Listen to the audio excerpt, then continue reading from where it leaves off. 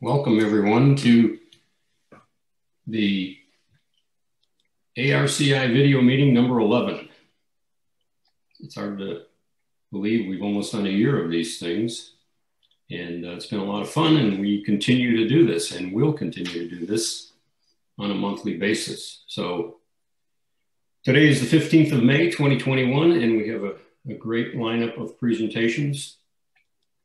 And uh, you can see we have three of them right there. And the first thing I'm going to do is turn it over to, to Matt before we get the presentations going. He'll talk a little bit about the fact that these are on YouTube. So, and after uh, Matt, it, uh, I'll uh, introduce uh, Tom Kleinschmidt. He'll talk a little bit about the upcoming swap meet in June and a little bit perhaps about the swap meet that we just had.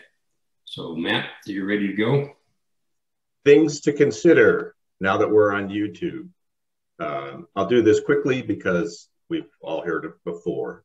Uh, as we're going live, not live, but recorded on YouTube, uh, we need to remember that uh, this is a public forum. So uh, be careful about the information that you post. Uh, if you don't want it seen on YouTube, don't post it here. Uh, just a few items. Uh, when we record this, your names as they're displayed on the screen are not shown in YouTube.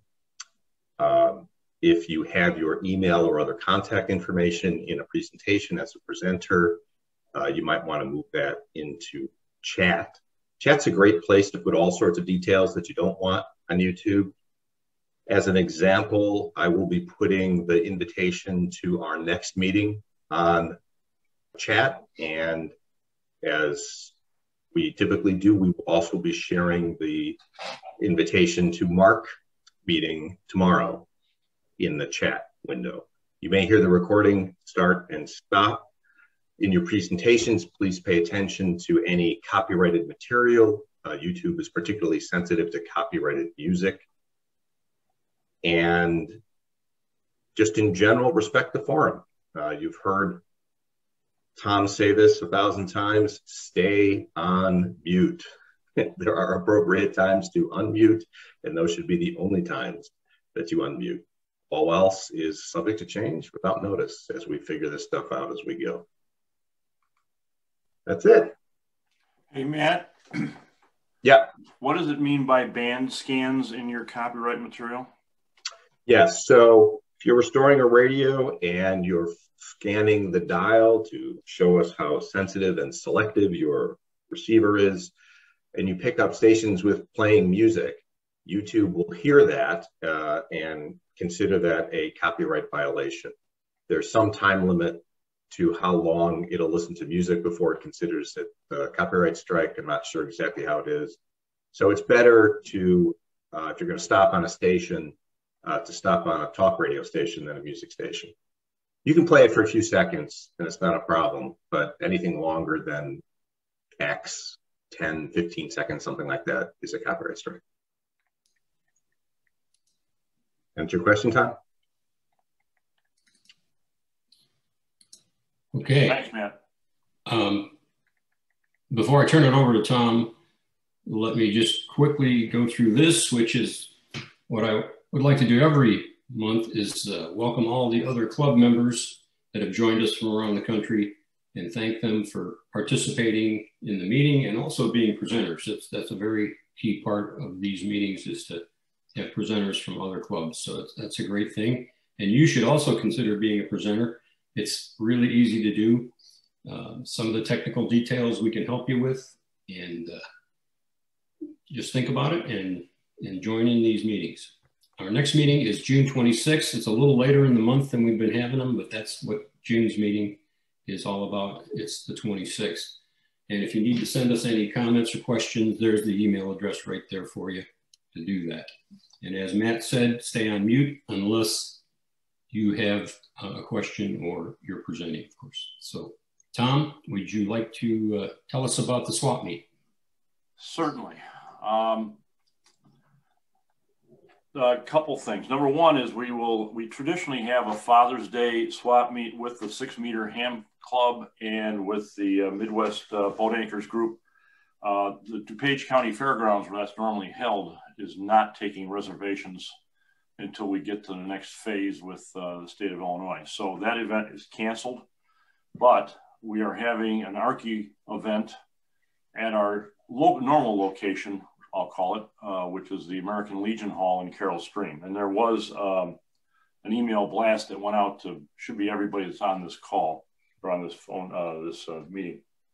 Uh, second, uh, April worked out real well. We had nice weather, we had a good turnout, and fortunately for me, we got a whole bunch of stuff out of our storage lockers sold.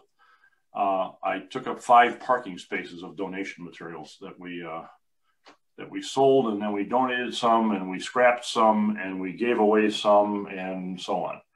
Uh, third item is Radio Fest.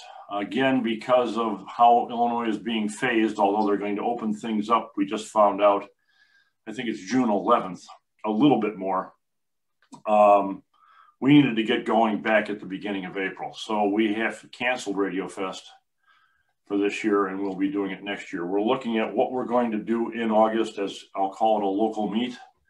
Um, and uh, the reason we're not having an equivalent to Radio Fest thing, uh, or I'll call it the flea market side of it at uh, the uh, the Shriners, is the cost of the venue uh, is just prohibitive.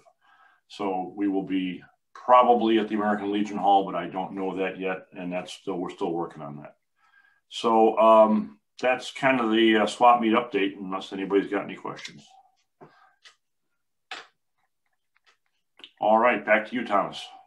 Thank you, Tom. Um, what I'm going to do now is introduce Dale Boyce, and uh, Dale is uh, he lives up in Milwaukee, and he's a longtime radio collector researcher, you name it, he's done it.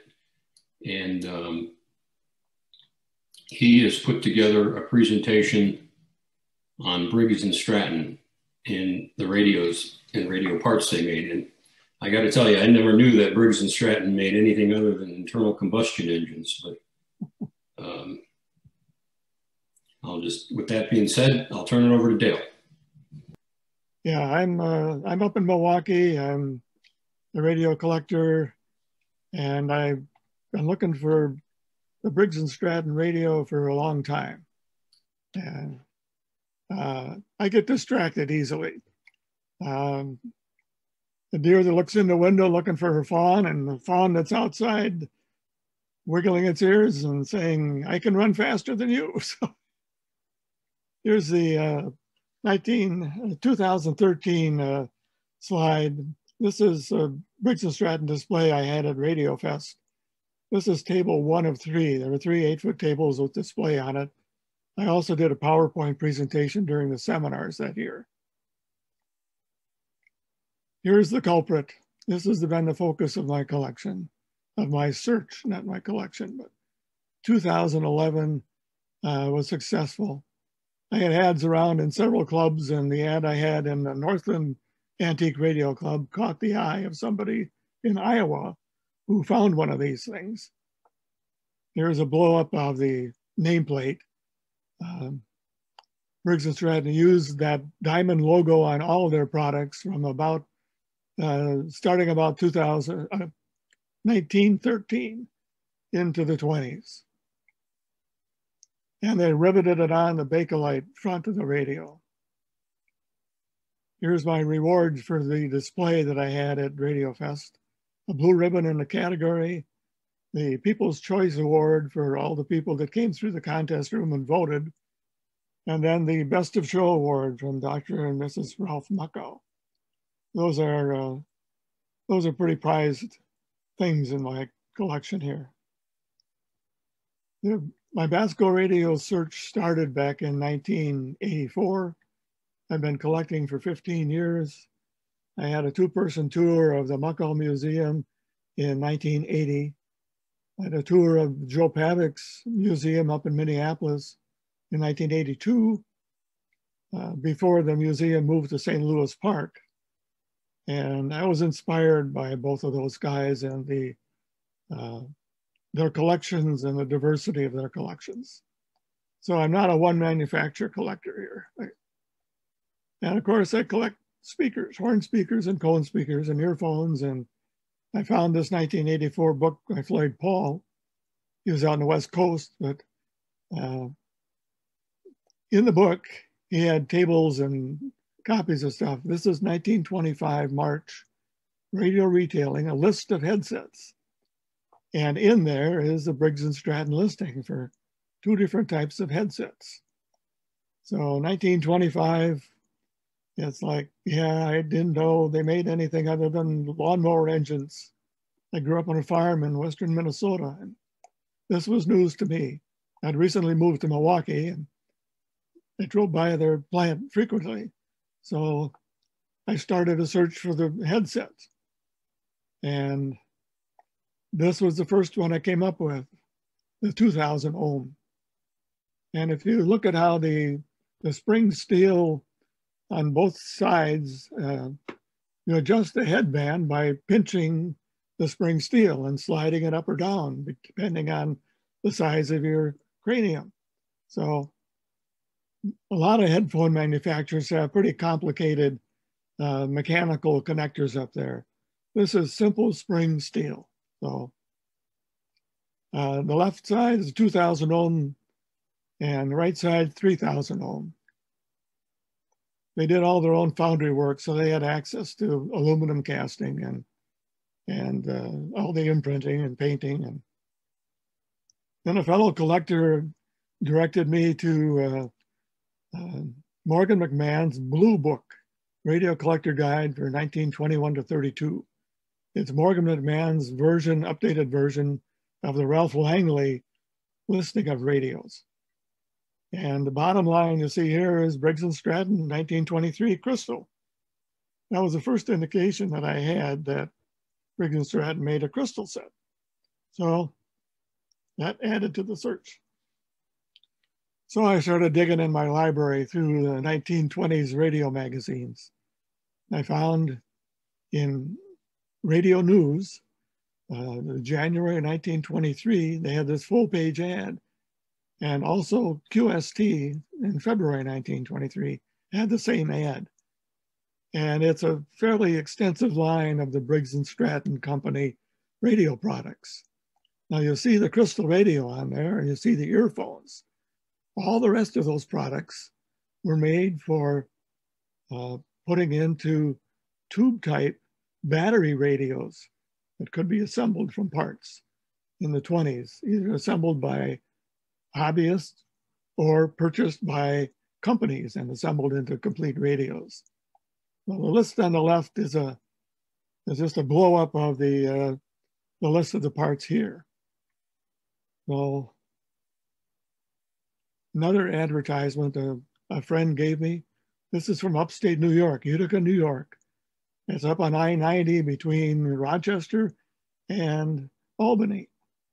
Uh, Briggs and Stratton radio equipment was distributed across the country through their automotive and equipment distribution network. The radio equipment was stocked, sold, and serviced by the same dealers. So if you knew where your Briggs dealer was, you could find it. And trying to find old stock in the in old Briggs places is a is a challenge. This is an uh, image of a Briggs and Stratton tube socket. Note they're split.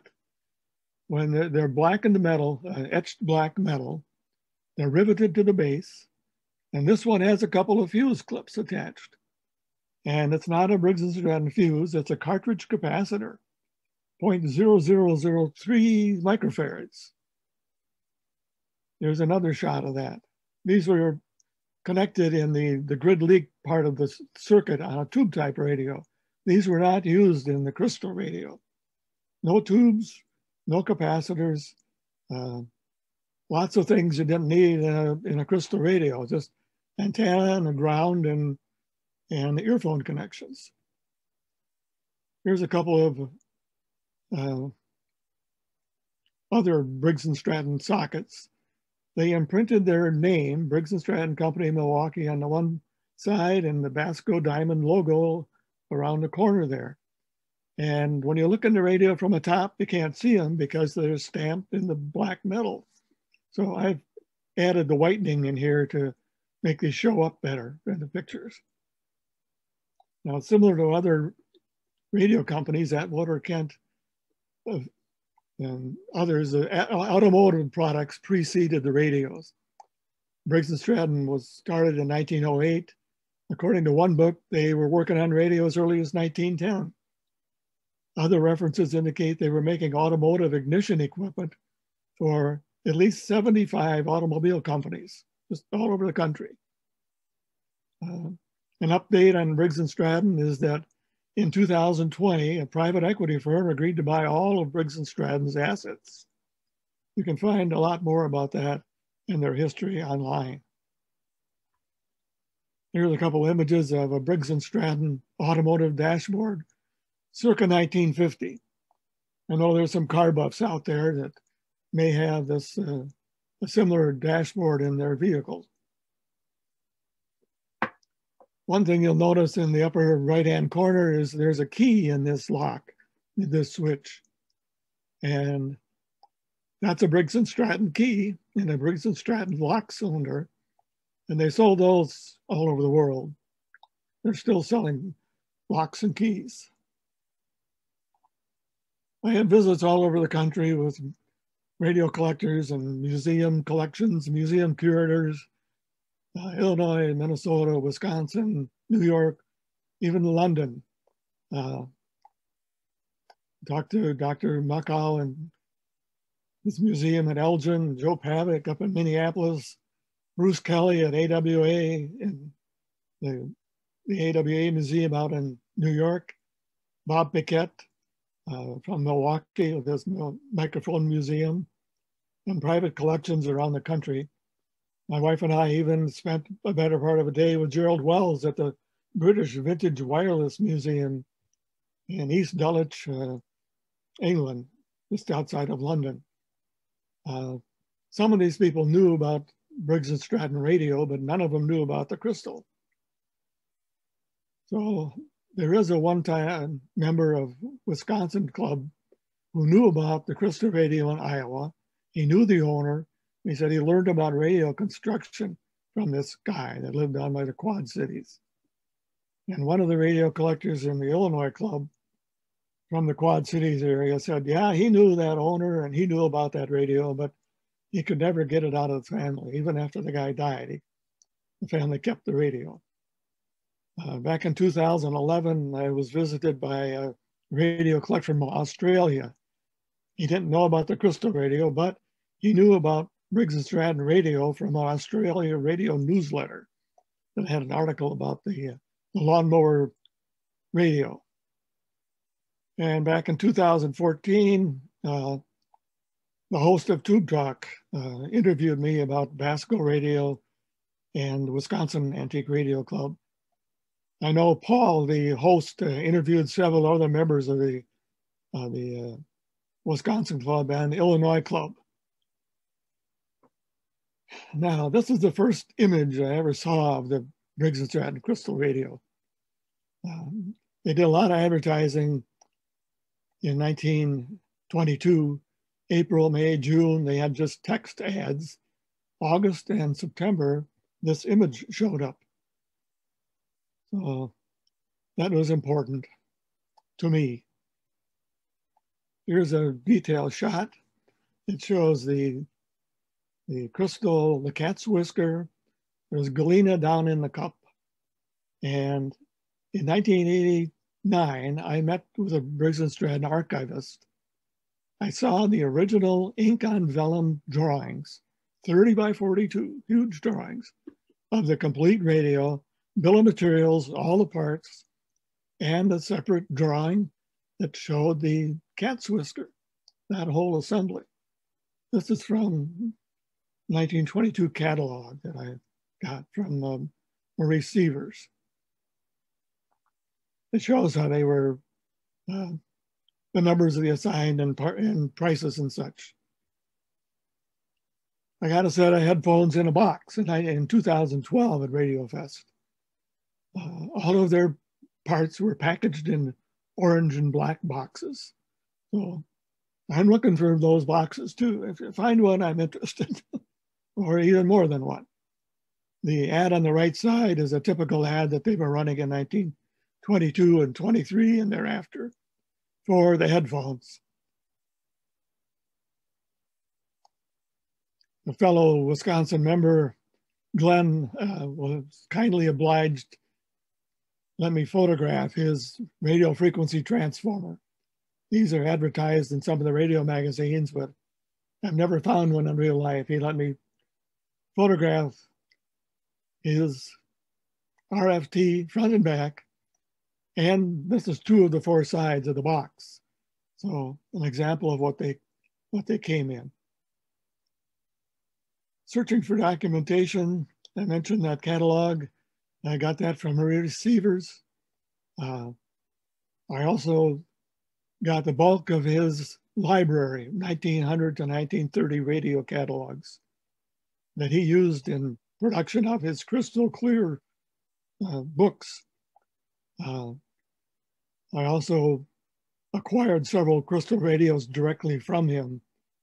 And my thanks go out to publisher George Fathauer, who I've known for a long time, for making the introduction to Maurice, because Maurice didn't know me from anyone. And George was kind to make that introduction.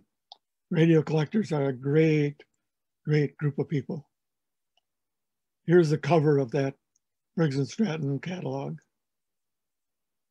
Inspiration and Help at Lake Michigan. My wife, Chris, and Max and Molly. Here's an image of a, a Globe 610 with mostly Briggs and Stratton parts. Globe, Monroe, Airline, Montgomery Ward radios with Briggs parts. The porthole radio is the first clue. They came in lots of different cabinet styles. Single tube and the three tube. And the, if you look at the chassis of the radio on the top image, it's basically identical to the one on the bottom image. They just rotated the two tuners. So the top is Globe, the rest of them are airline. And Monroe, you'll find the Monroe labels and uh, other labels on companies that were involved in making these. Whoop, distracted by the buck and velvet. Now, why would that distract anybody? There's a fawn that was saw by the garden one day. She stayed quiet while I took the picture. And she was busy having supper when I got this shot. This is right out the front window. So here's my first airline deluxe radio with Briggs and Stratton parts. Thanks to Greg. I miss him. There's another one of these deluxe radios that's in a little better shape that lived in a cabinet all its life you can see the Briggs and Stratton logo on the tube sockets with the blackened metal or the, the etched black metal. This shows a couple of the underside of the Briggs and Stratton tube socket with the little, excuse me, the paper foil condensers. Another close-up of the little condensers. 003 microfarad again, part of the grid leak circuitry.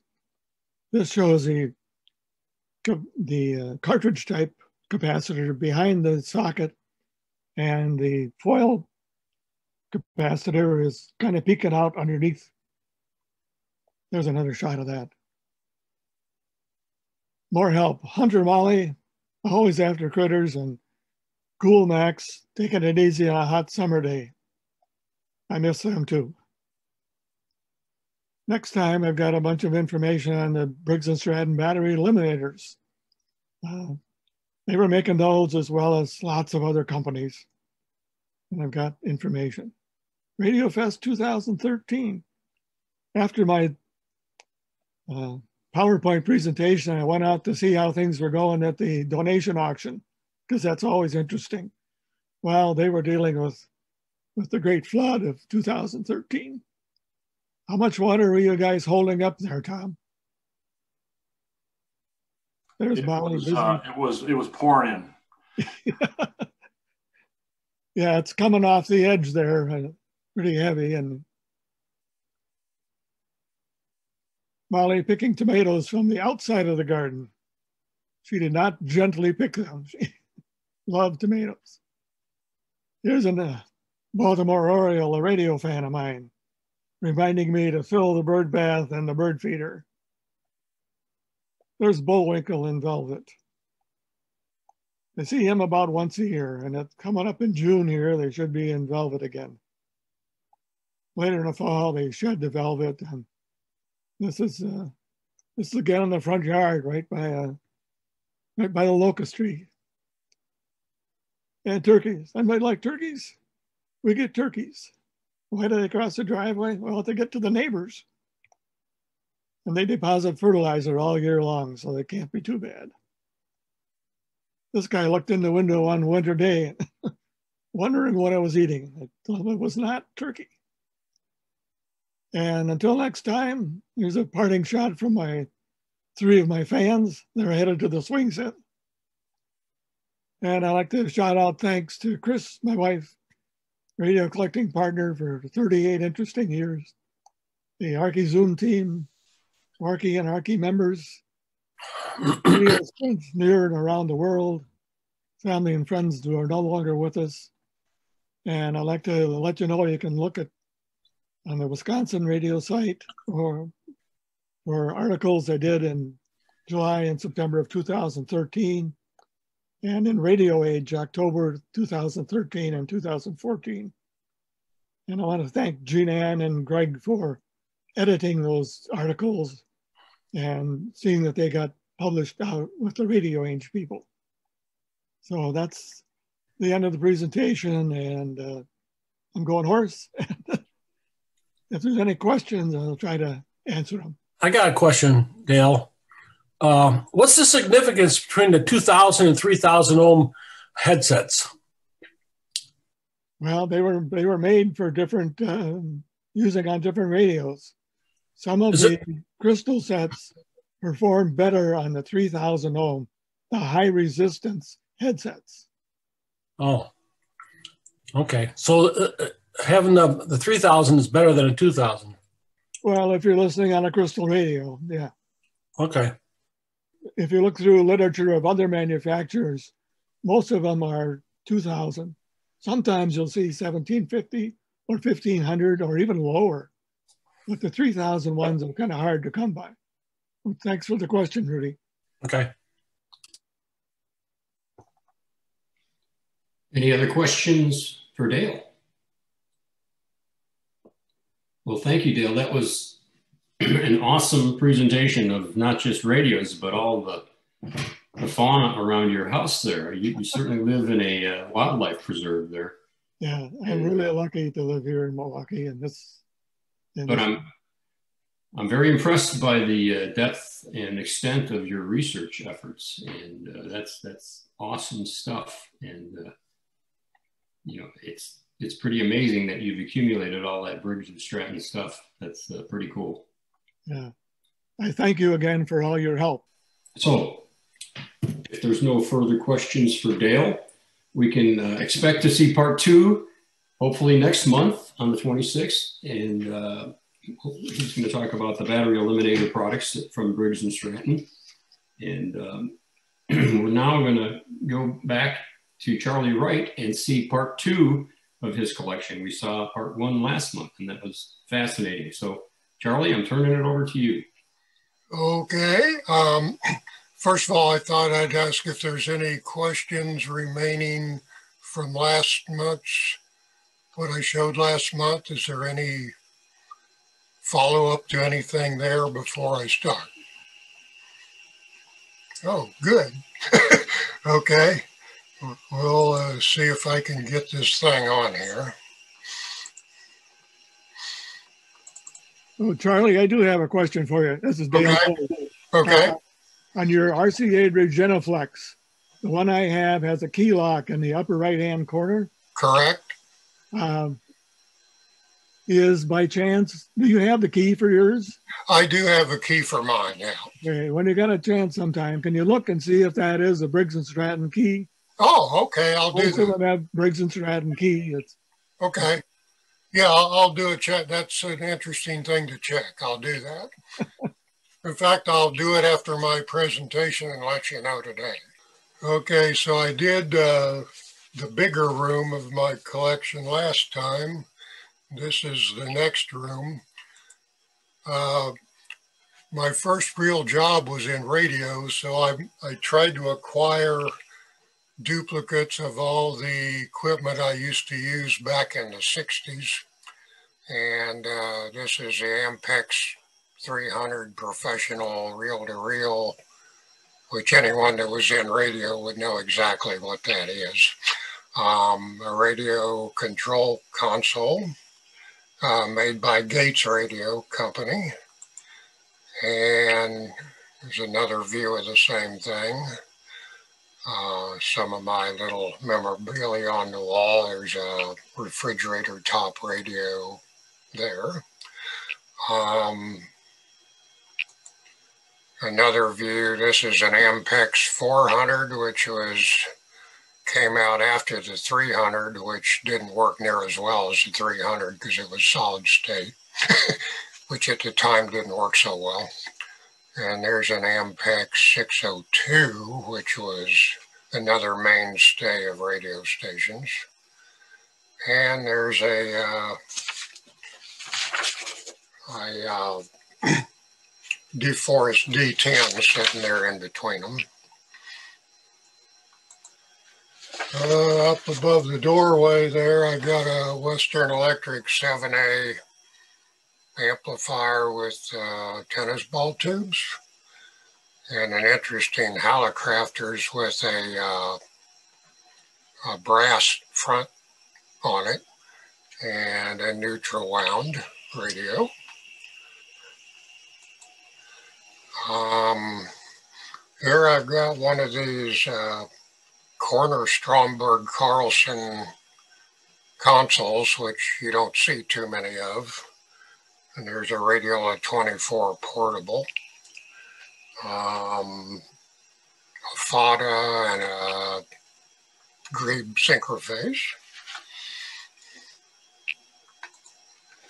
Uh, first row, um, there's a number of my AC sets on this row. I'd say, most of what I have is battery sets, but I did get, I do have a few AC sets. Um, I've also got a couple of cylinder phonographs up on the top. So Radiola 33 there, and an Ozarka. Um, couple of early TVs on the bottom, a 7 inch and a 10 inch with the round tubes.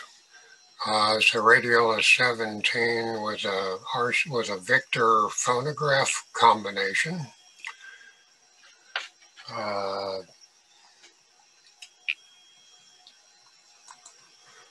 again, a closer shot of some of my AC radios. There's nothing of, of extreme consequence there, but they're ones that I liked and I thought were attractive. Um, yeah, we're across the aisle. Uh, here's a Marconi. Um, there's a little pilot three inch television up here. And the rest are mostly battery sets, uh, some battery consoles along the bottom. Uh, this is the same aisle from the opposite view.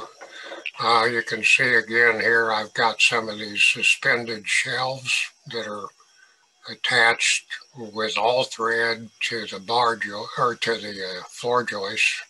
That way I can move around these radios on the bottom. It works quite handily for making sure I don't waste any space since I don't have much to waste. Um, this is an interesting item here. It was a combination uh, 7 inch TV, 45 RPM record player, AM and FM radio all in one little two foot box. Um, here's a very, very early CRT. It only has four pins on the base. Um, an old battery jar there. Um, okay, we're back to, I've got a collection of old and unusual tubes sitting on the shelf above there. There is actually a little ledge on there for possible earthquakes. so hopefully they won't fall off. Um, this over here is a medical quack device. It has all kinds of spark gaps and knife switches and stuff, which I thought was a really cool item, but I haven't tried it out. Um, see, where are we? Okay, this is the RCA Deluxe 3A.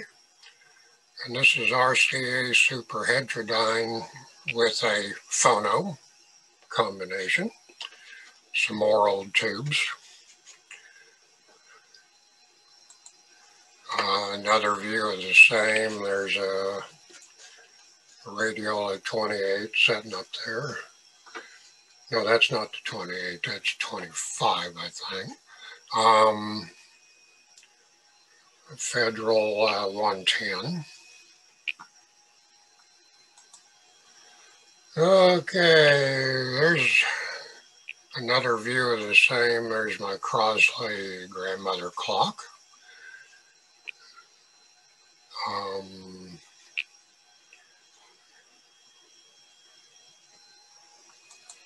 there's a Radiola 28. This is the third aisle, um, kind of an overview of the aisle. Uh, same aisle from the other direction. Uh, this is a closer view of some of those radios. There's some Freed Eisemanns down on the bottom. Uh, Radiola 2 there. And another one of my side collections, uh, telephone pole insulators along the top, as if I don't have enough junk already. Um, another view of the same row, uh, like I say, mostly three dial sets. Uh, some various manufactured tube boxes, more of the insulators up at the top. Um, this is the last row in the room. Um, uh, closer view, there's a couple of my cathedrals that snuck in between the battery radios. Um, we've got a big brass power meter there, a Radiola 26 portable. Uh, opposite view of the row you saw before, looking back over the Radiola 18 and 19, uh, Radiola superheterodyne, some more battery jars up on the top. And this is back to the first view you saw with the Radiola 24 and the grebe up at the top. So that's that room. Is there any questions about anything in that room? Yeah, when you gonna set up uh, some tours? Say again? When you gonna set up some tours? I, I heartfully welcome anyone that's in the club that ever is in the Kansas City area to come by. I'd be very happy to entertain you. It's a phenomenal, phenomenal collection you got there. Well, it's it's been a fun 30 year hobby and uh, so far it's it's been fun. Hey, Charlie, what was the last radio you bought?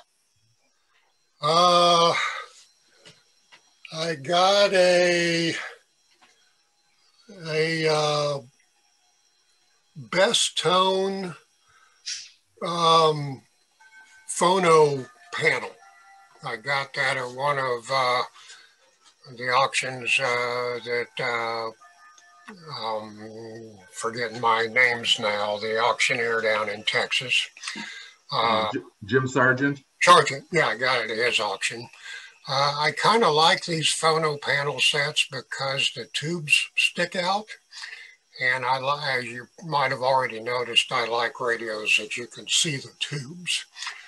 And uh, this Bestone, I've never even heard of the brand before, but there is a picture. No, there's not a picture of it in this because I took these pictures before I got that. That was radio number 619, I believe. And and the follow-up question, have you ever sold a radio? I do have a storage area with duplicates or I, I haven't done, I've done very little refinishing. So most of these radios are what you'd call as found.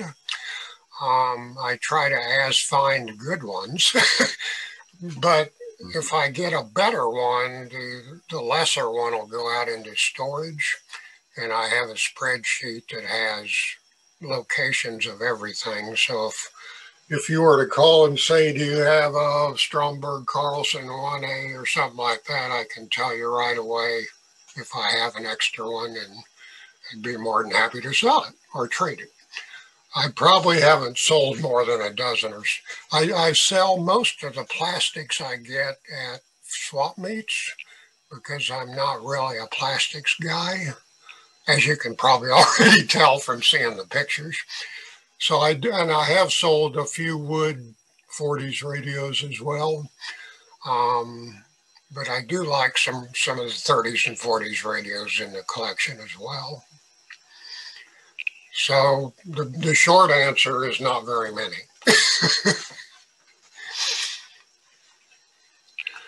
okay. You've also got a, a, a, large assortment of oscilloscopes and uh, other test gear if you're looking? I have uh, a 3,000 square foot building full of equipment. So anyone that comes should plan to spend a couple hours looking through stuff to see what they need. I mean, if you need something really odd, a certain kind of relay or panel light or knob or something like that, I may be able to help you. Okay, well, let's get into room three. This actually was the laundry room, and the only thing remaining in it that's laundry is a washer and dryer. And the wife says it's kind of hard to do laundry in between the radios, but that's sort of how it is. so this is one half of the room. Um, let me get my cheat sheet here. Uh, this console over here, I've never seen another one like it. It's an AK-60. I call it my console cathedral. And it works fine. It's it's it, absolutely original condition. Uh, but I kind of like that one. Uh, I got a silver tone clock there. Uh, next picture. again, here's some of my uh, floating shelves to let me put things underneath. Um, there's a Crosley XJ there, Freed Eisemann. These are Freed Eisemanns in fancy open door cabinets that are, are really cool. You open the door, there's room for the batteries inside. Uh, there's a Kennedy 20, among others. Um, this is a, uh, I've been told is a Victoreen uh, super het kit. Uh, it's on a breadboard, and I don't think it's the entire radio, but there's six tubes and six coils. Um, but it's a really interesting piece. Uh, ACK console there, AK-19. Um, down here is an Adler Royal phono panel. Now, you'll notice my phono panels, I've built boxes to put them all in because they came without cabinets. So I had to construct cabinets for those.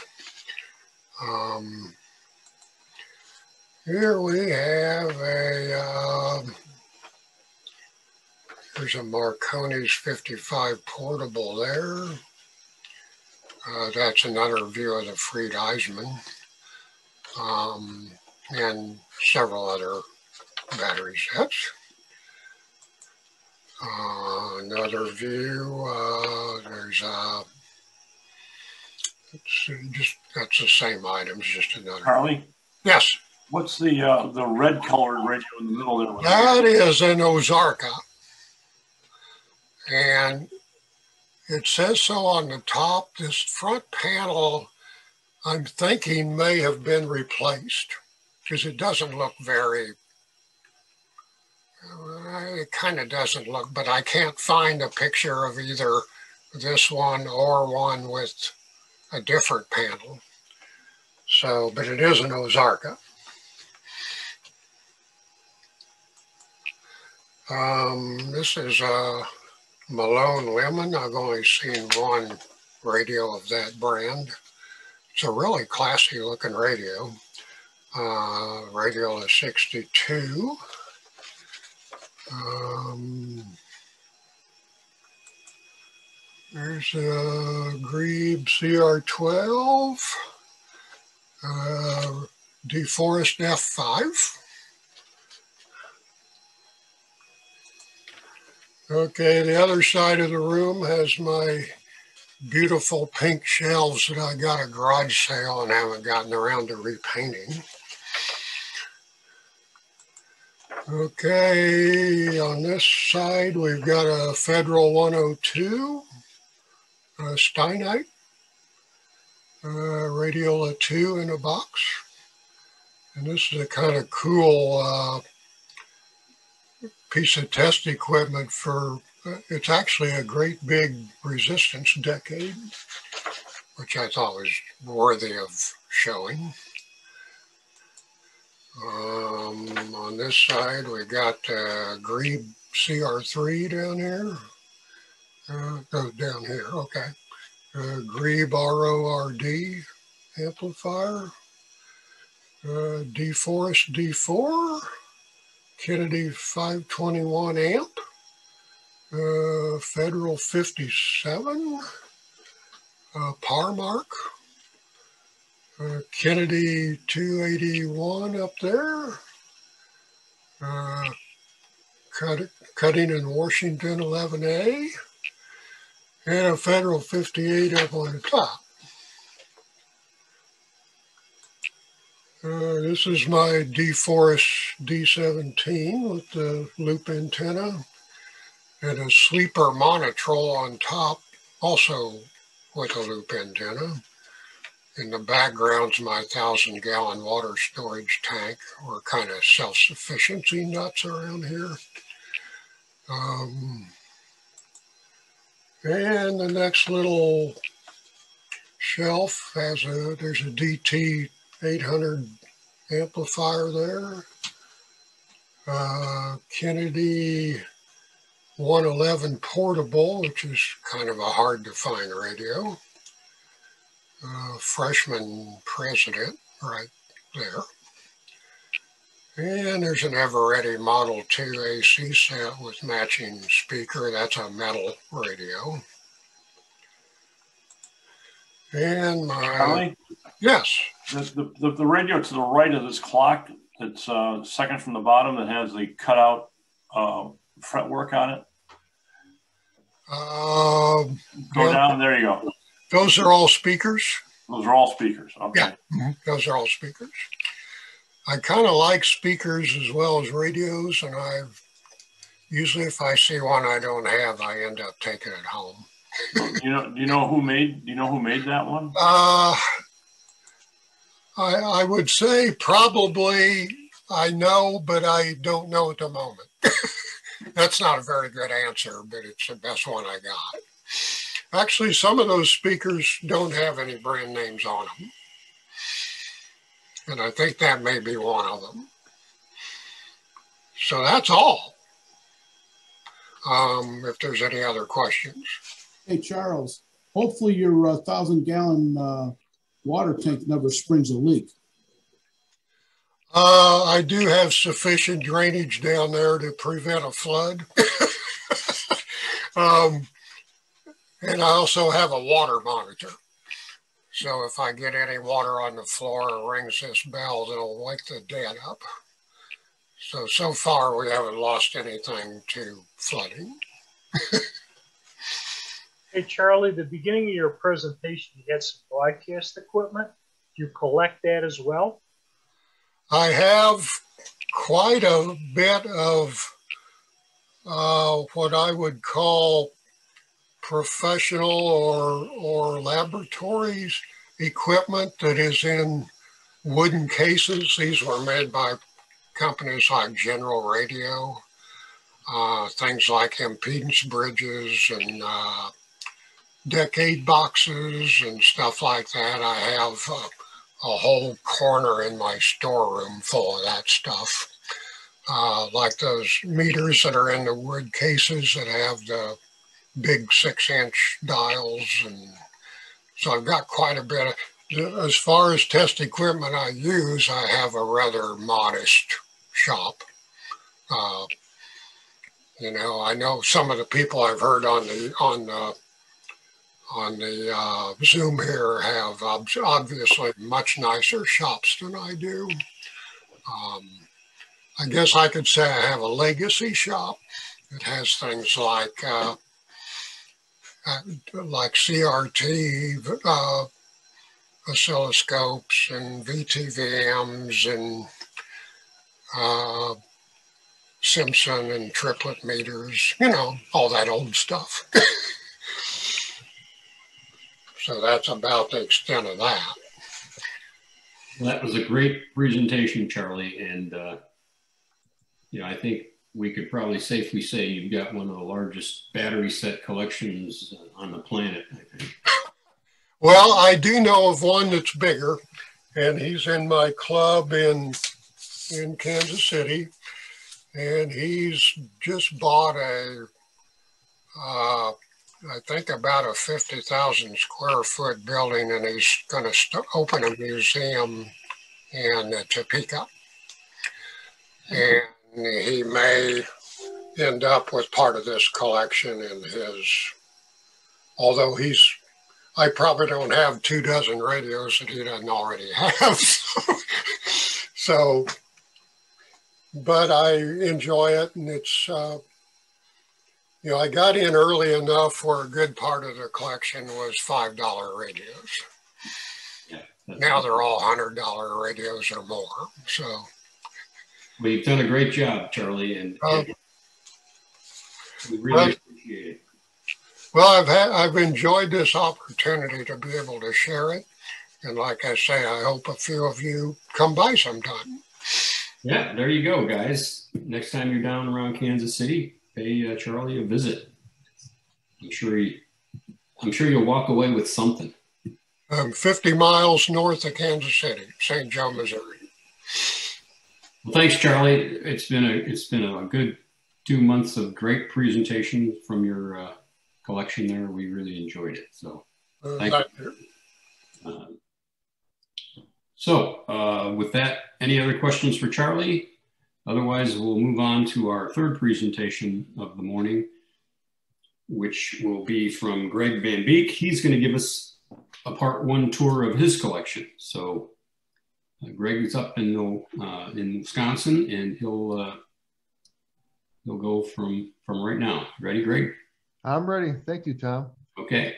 Uh, I'm actually located about 35 miles north of Milwaukee, so I'm not too far from Dale, and I've actually been to his home a few times and seen his incredible collection of the Briggs radios. And I'm hoping that some point he'll consider doing a virtual tour of his collection as well, because it's really outstanding. And I was inspired by one of the first ones here when Art did his virtual tour. I think he just took his cell phone or laptop or tablet around and showed off his radios. And that gave me the idea because I'm sitting in the basement here surrounded by radios. So I figured uh, there's about 54 of them down here. I'll just take my tablet and show what I've got. That's roughly half of what I have. The other half I'll show next month. in part two is a, is a video.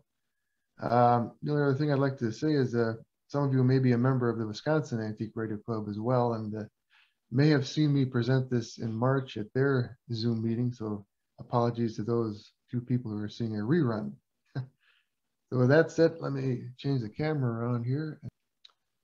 I also collect some Bing Crosby memorabilia. That's a big uh, poster from a drugstore from 1953.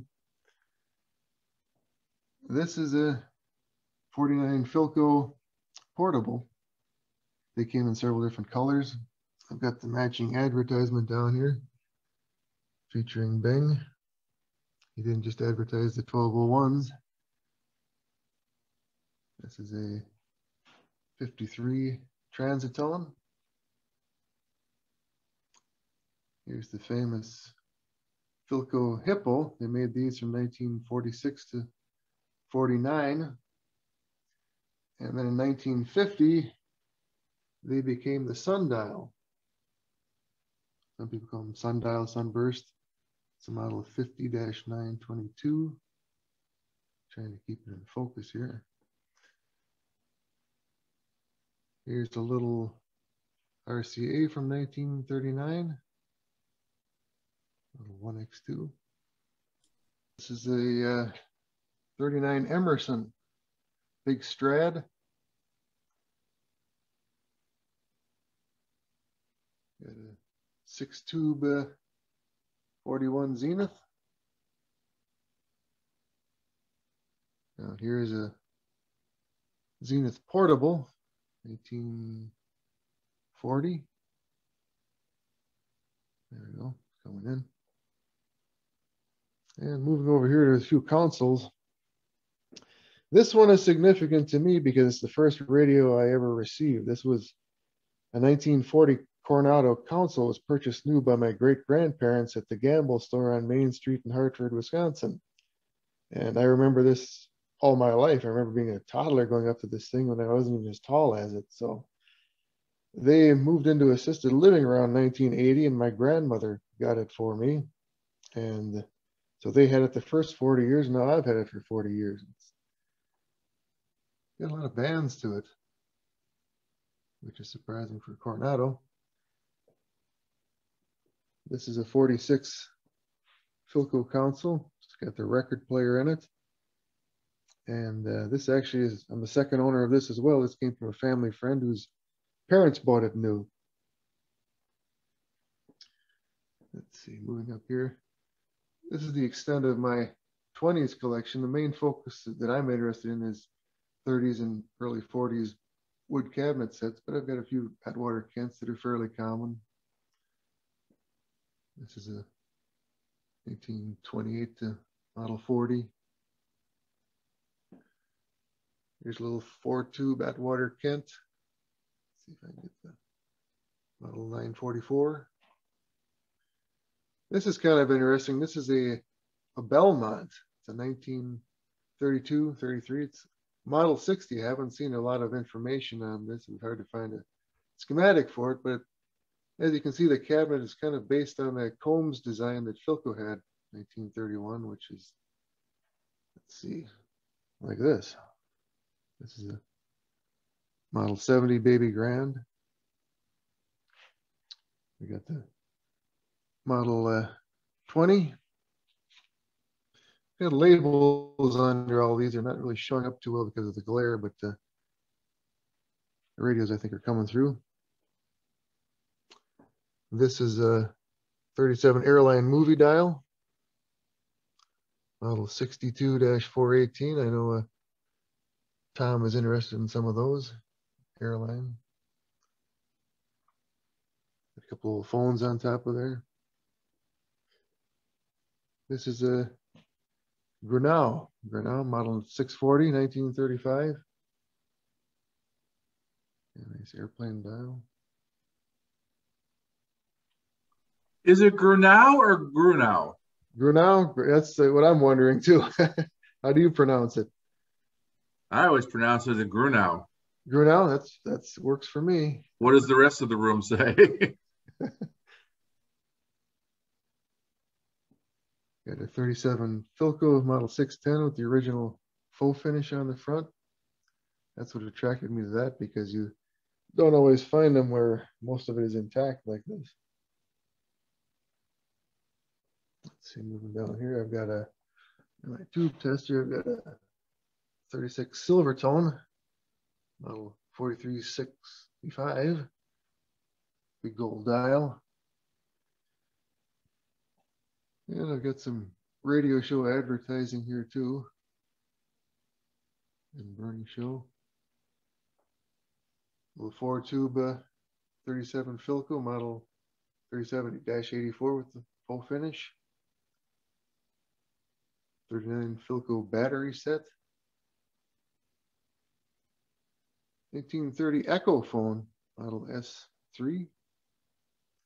I think I read somewhere that uh, the toss up between this one and the 1930 Model 20 Philco as to which was the first cathedral. I'm sure someone out there may have more information on that, but it's got to be one of the first. Let's see. Here's a uh, 52 RCA. Another four tube Philco.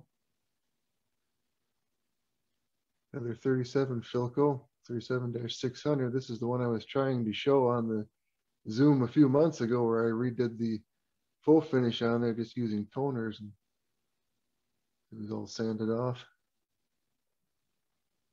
Got a uh, 37 Traveler. A really pretty dial when it lights up. Got a American Bosch Model 420, a little cigar box. 36 Crosley. Blue dial Zenith, little six tuber. 51 Arvin. This is actually the same chassis that's used in the Hopalong Cassidy radio. So if you happen to have a Hopalong Cassidy set that needs a chassis or you've got problems with it, you can find these a lot cheaper than the than Hoppy. Let's see tubes here. This big guy is a 38 Philco well, 38-5, kind of half cathedral, half tombstone. So last year that Philco had the shadow meter. After that, they went to push buttons in 39. They never had a magic eye tube in a Philco. This is a 36, 37 Silvertone, which I'm told has an Ingraham cabinet model 4669, telephone dial for uh, presets. Get rid of the glare a little bit. 38 Philco with the concentric tuning. That's the only table model they made with that feature. Here's a 39 slant front. The red push buttons. 42 model 350 has the early FM band. This is a 1937 RCA model 86 T1 that I turned into an 87 T1 by adding the I-tube. That was the only difference in the chassis. Found a bezel and I found a Amphenol kit and wired it in. 36 Philco Tombstone, 630. This is part of an early tube tester.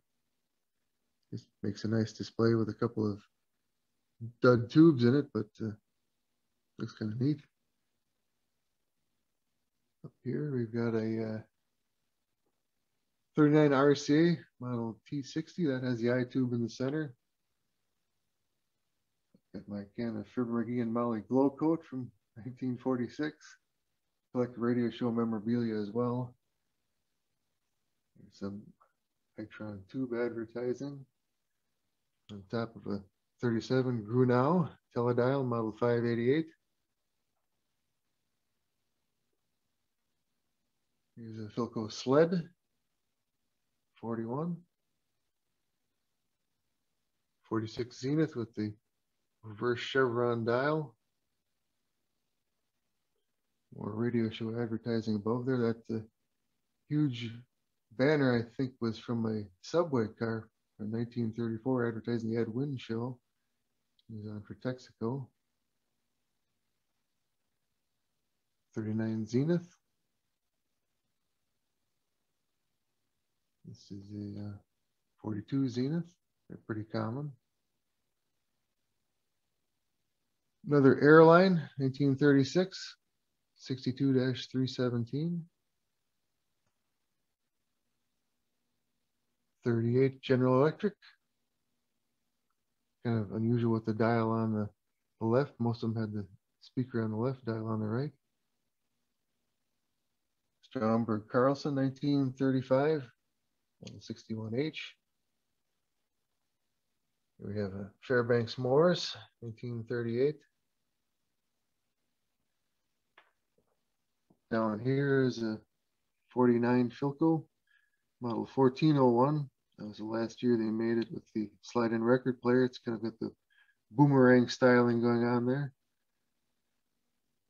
This is a 41 Philco, model 41-623P. And what's unusual about it, it has the beam of light tone on.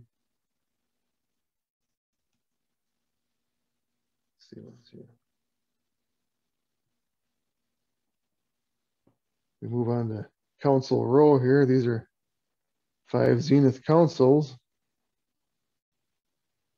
It's a 1940 8S463. 38 shutter dial, 9 tube. Here's a 1938 Zenith uh, 8S. I think it's 4 8 854. Original finish. This is a uh, the first Philco 33 and a third RPM record player. This was an attachment, came out in June of 1948. And it actually has an RCA plug on it, so I've got it plugged in the back of the Zenith. But that's the very first 33 and a third commercial record player.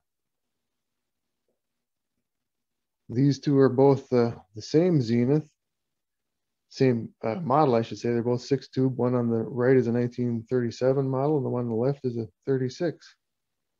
Both uh, six tube consoles. And I think I've covered it all. Let me, uh, hey, Greg. Here. Yes. For you. Uh, okay. Zenith Blue Dial Radio. Could you yes. show again? Zenith Blue Dial Radio. Okay. Yeah. Could you show that again? I, I, I haven't seen a lot of Zeniths with blue dial on them. Yeah. It's kind of hard to see from the angle there, but. Yeah, I'm trying to get so it doesn't glare so much for you, but it's just a like an aluminum plate, but it's kind of anodized blue the way it looks. Yeah. I does anybody know if Zenith made a lot of models with blue dials like that? Not sure. I think it might have just been a 41 thing. That was the only that that particular radio is the only one I've ever seen. Uh, that's yeah, it's very unusual. I've never never seen it. Mm -hmm. Okay, trying to reverse the camera back here. Let's see. Oh, well, Greg, that that tour of your uh, your collection there is outstanding, and I know we've got part two coming up next month, so uh, we look forward to that. But I must say, you've got a, a broad uh, variety of different kinds of radios, and quite an eclectic collection there. Yeah, it's uh, a lot of different things. It's nothing that's exceptionally rare or anything, but you know, they're just things that appeal to me. Yeah, it's a beautiful collection, and uh, you should be very proud of it. And thank you. It's an inspiration to us all to to go out and collect things, I guess. uh, yeah, yeah. Say this, Charlie. Uh, I notice your radios are all in pristine condition. Did you refinish or restore most of your sets? Yeah, they're all restored, Charlie. I, I did went through the chassis and the cabinets. A lot of them have original finishes I was able to preserve.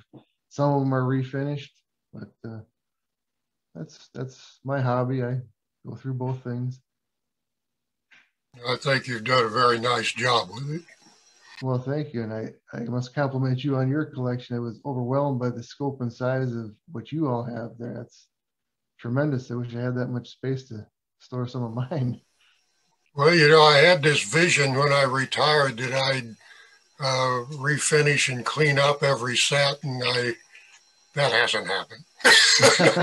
but I, like I say, I try to find ones that are at least presentable the way they mm-hmm. are. But but yeah, you've got looks like museum quality stuff there. Well, thank you. they don't all have to work. It's nice just to be able to look at them too. You know. I want to give you my compliments as well, Greg. You've got a really nice collection that you've put together there. Well, thank you, Dale. Like I said, I hope someday you'll consider showing a tour of your collection because it's amazing compared to mine. I'll tell you, you have got uh, more battery sets than I've ever seen in person in my life. yeah, they go back. Mm-hmm.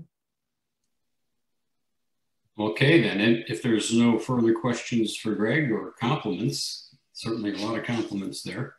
Uh, we'll we'll uh, say that this concludes our section on presentations. And um, at this point, we always like to put out a poll to see if you're interested in being a presenter. And, and really, you don't have to have a collection as extensive as Charlie's or Greg's to give us a tour of yours. It's it's more like sharing what you what you collect and, and what you're interested in. And but you can also do a presentation on something that's of interest to you that might be of interest to us. So uh, consider being a presenter. If you've already answered this and coordinated with one of the Zoom team uh, about your presentation, you don't need to tell us again. But if you're a new presenter, uh, please let us know. Yeah, this is Charlie. Uh, Dale was wanting to know about the key in my Regenoflex, and it is in fact a Briggs & Stratton. Um, has the diamond logo on one side and Milwaukee, Wisconsin on the other. Oh, that's great. That's very interesting. So I actually do have a Briggs & Stratton item in my collection. I didn't even know it. Thanks for checking, Charlie. Thanks for checking. I appreciate knowing that. What about your lawnmowers, Charlie? Maybe maybe one of your lawnmowers has got. It's a it's a uh, yeah. I think it. No, I think it's got a uh, lawn boy or something like that. I don't know. Trying to make a joke, but uh, I think you can see the results there of our poll. Um, got a few people interested. That's good. But think about it and uh, please consider being a presenter in the future. We'd, we'd love to hear from you. Um, so at this point, we move on to the show and tells. We have a couple of those uh, on tap here. And then after we do the show and tells, we do our items wanted, items for sale. At that point, I'll turn it over to Tom Kleinschmidt. But for right now, whoever would like to do their show and tell, please uh, step forward. Uh, hello? I volunteer. Okay, Michael. To start this, um, at the uh, last swap meet, uh, I walked off with a box of uh, miscellaneous parts, and you never know what you're going to find. Uh, this kind of rooting around the bottom of the box, these caught my eye. This is, I don't know if you can all see this. This is a, a general radio uh, quartz crystal type 1900 dash, uh, was it 2300, I think. And uh, it's, you can see it's a, a crystal element uh, encased in glass. Uh, just for uh, scale, I can compare it to this uh, uh, this uh, 6BK5.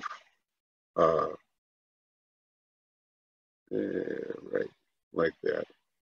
Um, and it's uh, so it's about the size of a large uh, miniature tube. Uh, it's you know extremely well made. It looks like it must have been very expensive, and I had no idea at all what it was. I, I did some uh, research on it, and it turns out it's actually a, uh, a crystal filter element. Uh, I don't know if I can bring it up, but it's from a, uh, let's see here, uh, General Radio 1900A wave analyzer. I don't know if anyone's familiar with that. Um, basically, the uh, the unit, uh, the 1900A was a low frequency, uh, basically, I guess 20 hertz to 50 kilohertz uh, spectrum analyzer without a CRT, if you can imagine that. Uh, it instead of displaying on a CRT, it would draw a um, a chart, would draw on a chart recorder. And it was a big rack mount unit, and uh, it featured four of these.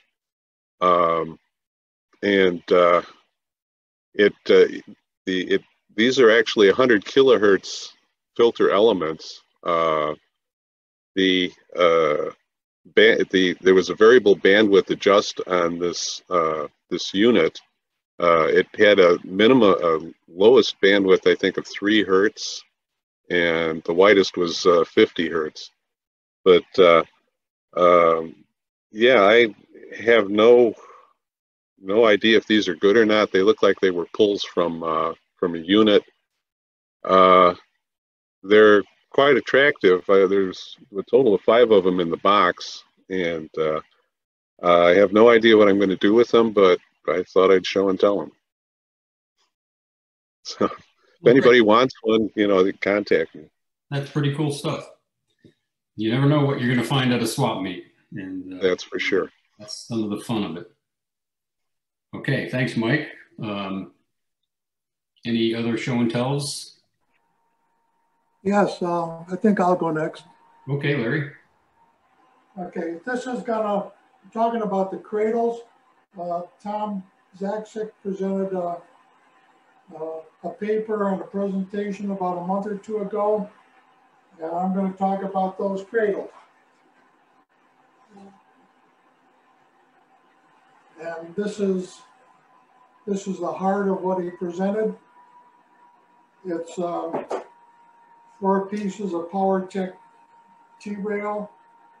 Uh, you buy them, this this was bought in a 36 inch length and the 36 inches, this piece plus this piece. So this took two sticks, 20 by 16 or 20 by 16. So this is what you get. Um, you have to you have to in, these you have to drill two holes to take the quarter inch T-slot T-nuts or T-bolts. And in the longer pieces, you have to attach the corner brackets. And, and that makes up the basic part of the frame. So if you can imagine this, and you make two end brackets and you slap them on this side and then present and then make uh, braces across it so these things don't wobble. You end up with, I'll show you here, you end up with this.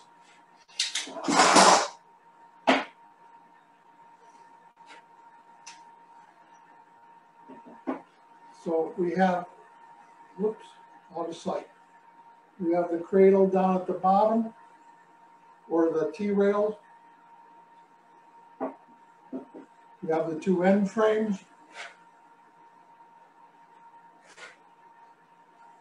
And stabilizer bars. Now these bars can be anything because all they do is keep this from moving around. I've got an aluminum bar here and I got a wooden bar here. They can be anything. This can be an all thread rod. Just anything that's uh, strong enough to allow you to manhandle it. So what I've got mounted in here is a uh, Atwater 1035 that I'm working on. And the cradle allows access from any position. You can work on it this position, or you can work on it from this position, or that position.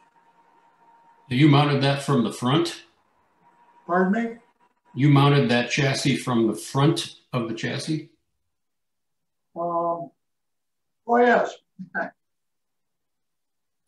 Yeah, the uh, AK-35 is mounted when it when it's in its box. It's mounted on the front panel. So in the chassis, it's connected by you can't see it. It's connected by L brackets. That's all of you. L brackets holding the panel to the rail. Oh, that's a better view for you guys.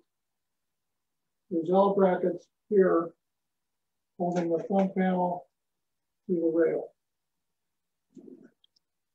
Um, these holes in the end wood frames allow you to bring out the power cords or anything else, but they're great handholds for flipping this thing around. Now, if if anybody wants to make one of these, um, I have made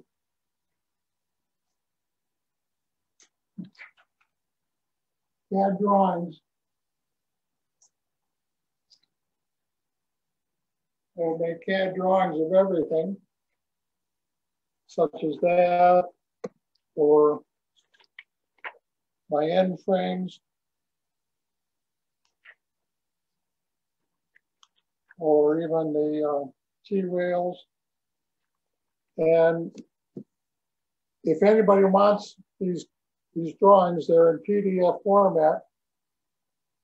I'm willing to share them.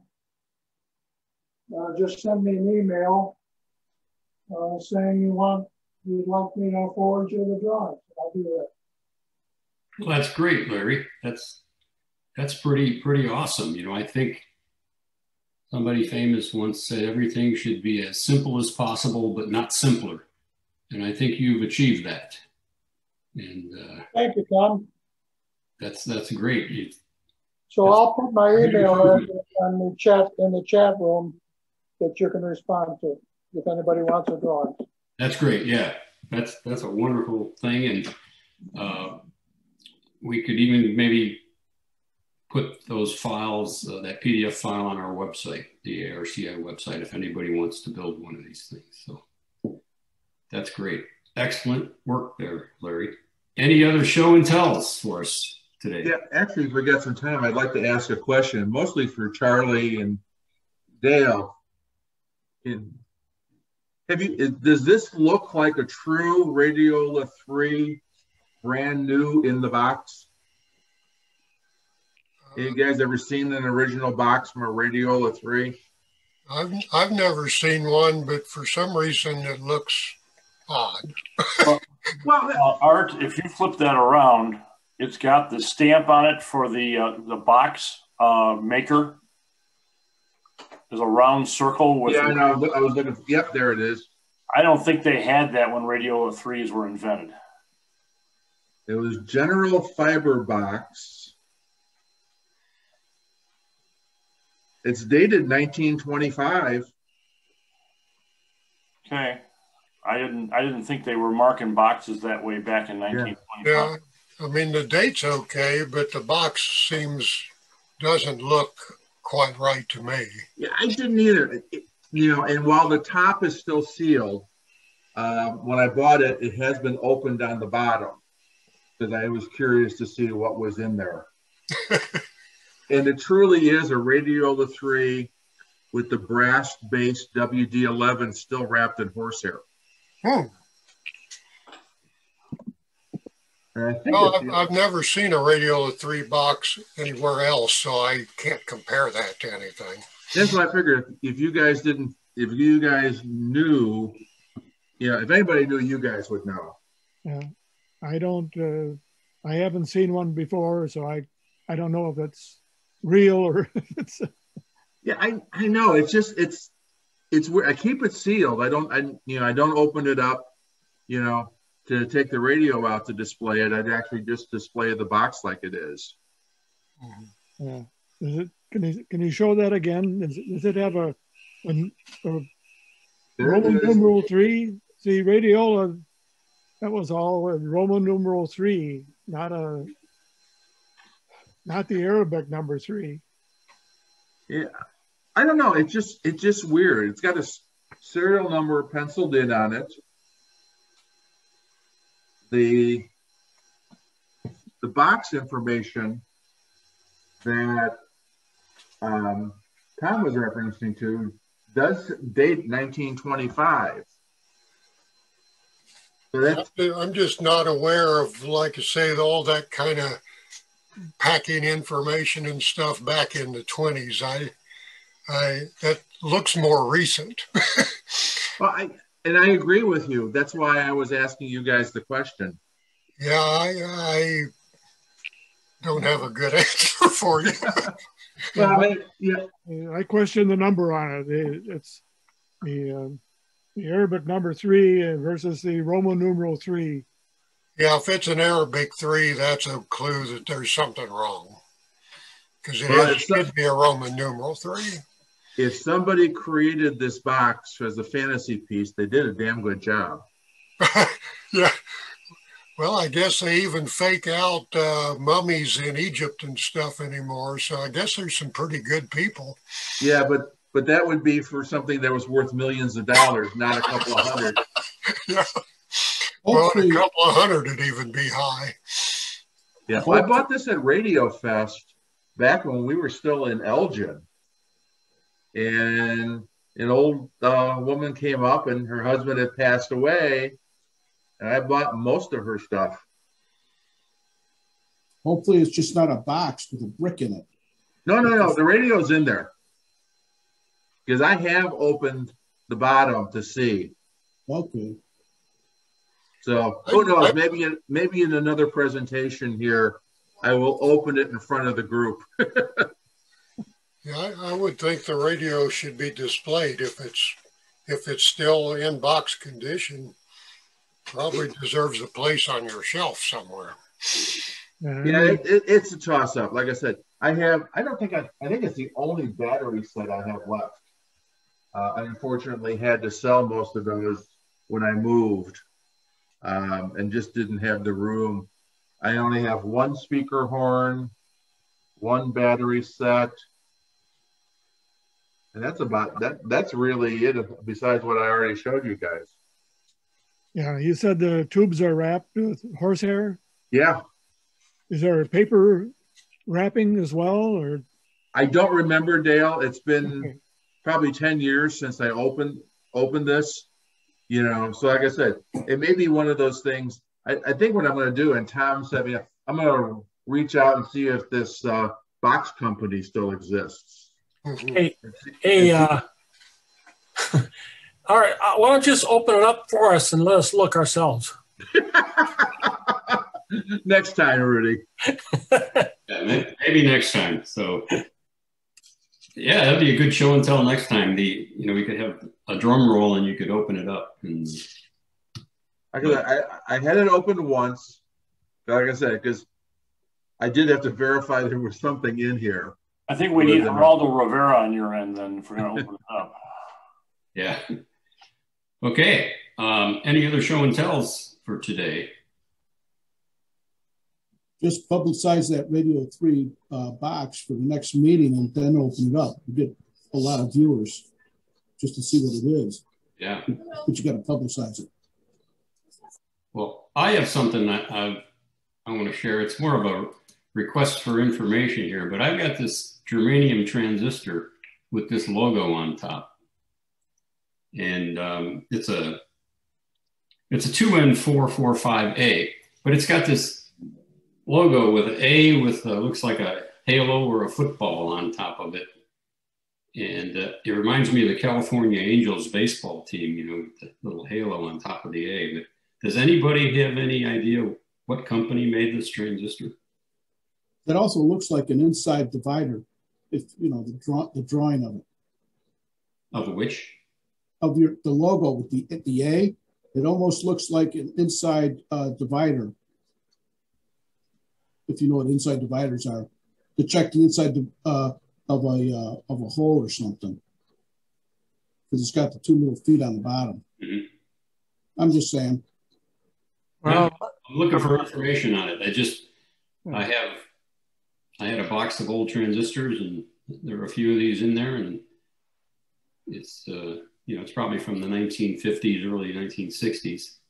I would also suggest that it may be East European or Soviet Union. Mm-hmm. And uh, I think you could answer that by showing the uh, marking of the uh, uh of whatever 2N number or is on the side of it.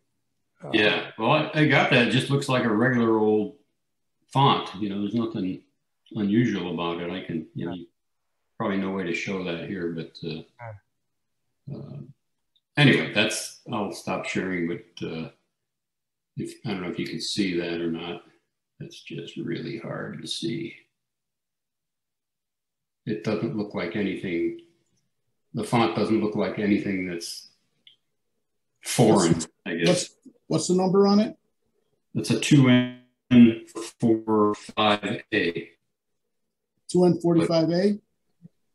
445A. It's a it's a germanium transistor. You know, this is before silicon. Yeah, I understand that. Yeah. Okay, that's that's all I had. But uh, any other show and tells today? Other other than that, uh, we'll just move on then to the items wanted, items for sale, and I'll. Uh, Matt's put the poll question up there just to give, give us an idea how many people are going to do this today, and then I'll turn it over to Tom Kleinschmidt, and he'll moderate this part of it. Your job may be easy, Tom. Doesn't look like anyone. Well, we have a lot of people that have put up their ads in the uh, in, in the chat window. Window already, which is excellent. By the way, you all did a good job of putting who you are, what you had, and how to contact you. So uh, looks like we got that covered. So I guess we get to move on to the next step here. This is a quick update. This General Fiber Box Company does date back to 1925. The owner died in 1970 at age 80 something. We're doing real time research here. This is cool. That takes us to the end of our regularly moderated portions of this meeting. And that means we're going to move on to the open session, which is an unmoderated conversation about anything you guys want to talk about that's relevant to this hobby. So with that being said, I'll say thanks very much, everyone, for participating today, and we'll see you next month. Thanks.